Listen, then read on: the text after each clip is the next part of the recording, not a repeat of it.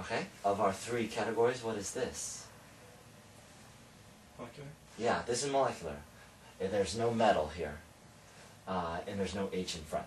So it rules out the other two. So we're thinking, Binary? uh, uh, yeah, binary. So all moleculars will be binary as far as we're concerned.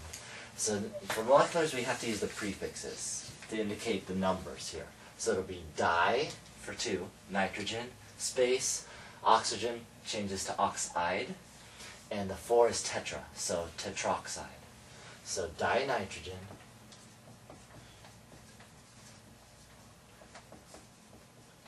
And we can get rid of the A from tetra since there's an O there, tetroxide. Okay? Uh, let's try a couple more. Uh,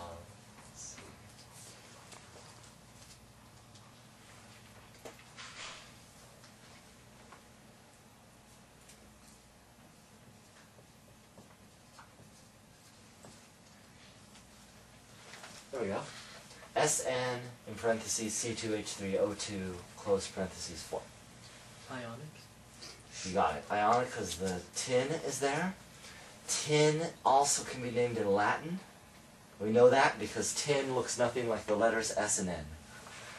So it's also one of those six I want you to know. So we have two options for this one actually. It could be tin.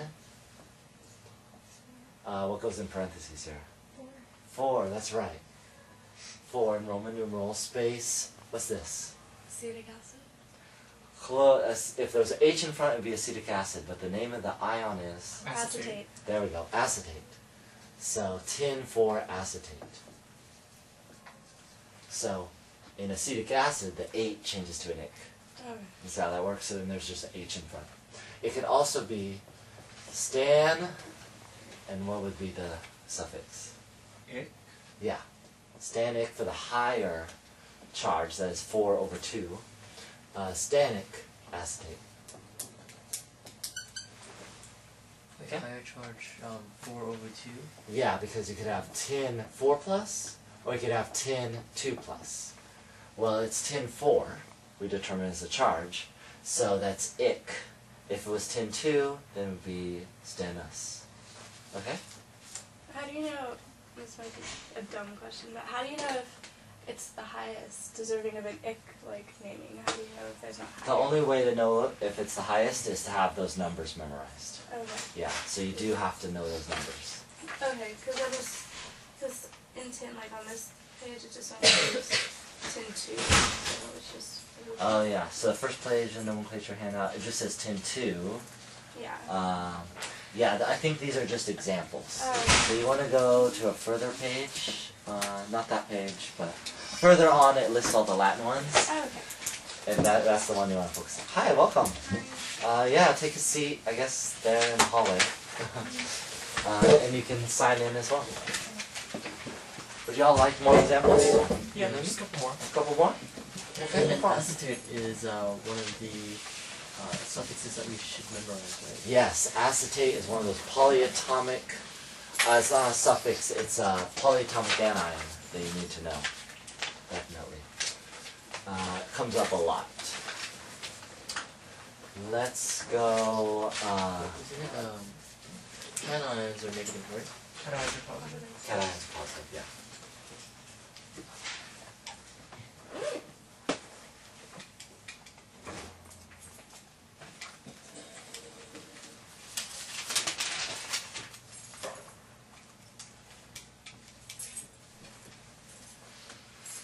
NiCr two oh seven. Okay. So this is ionic. It's got a metal, nickel. So we go as before nickel.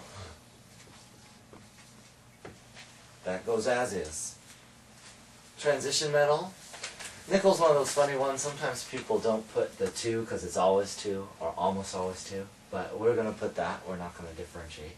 Nickel 2, and now we need to know this name. Chromate. Close. Chromate. is- Dichromate. Yes. Chromate CR04. Dichromate, you notice it by the 2 there. That's your hint. Uh, CR. Uh, oops, I need to write it out. chromate. Uh, dichromate. The, the di is straight from the name, not because of some molecular So I'll erase this. Uh, let's get some painful ones here. Uh, HClO4. Uh, So that's aqueous acid. Last name acid, half points. Perchloric acid. Close, really close. it's yeah. hyper chlor chloric. Yeah, maybe if you av- average what you two just said. This is the perchlorate, Okay. so it's perchloric acid. Um, you write hypo and hyper to distinguish those two, but uh, you just use the per.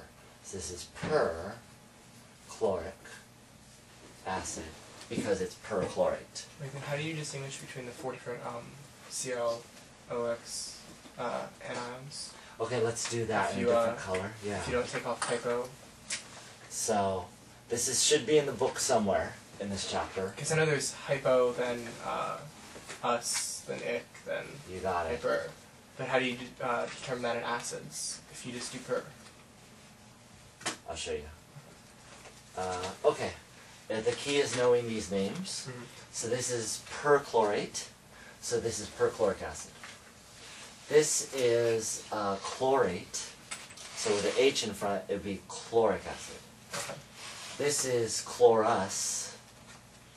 Uh, or, or this is chlorite, sorry. So uh, with an H in front, it would be chlorous acid. And this is hypochlorous, uh, hypochlorite. And so with an H in front, hypochlorous acid. So they're all slightly different, Uh-huh. either by the prefix or the suffix. Wait, so that's memorization, right? The O isn't doesn't really uh, uh give us any clues about determining the uh, suffix. The uh, if if there's most of the uh, options you'll have is between two polyatomics. There are few. This is one with a halogen. When there's a halogen, there's four options: zero, one, two, three, and four. And so this is the chlorate and uh, chlorite. This is the normal ones we think of: chlorate, chlorite. So they had to think, how do I distinguish higher and lower than that? Because it does occur here. Well, to go higher, they don't just say chlorate, they say perchlorate. And to go lower, they don't just say chlorite, they say hypochlorite.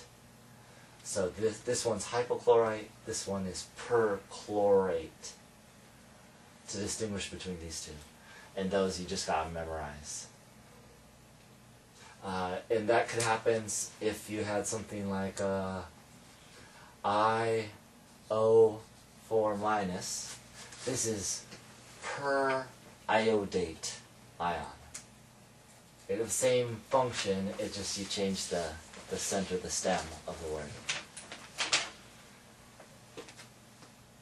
Kinda okay, these are like some of the most painful ones. If you get through this, you'll be mostly okay. There's another one that's common on your list. It's MnO4. You'll see that used quite often. This is permanganate, and you can see why, because this is perchlorate. Um, it's just that we don't have you worry about any other manganate besides the permanganate.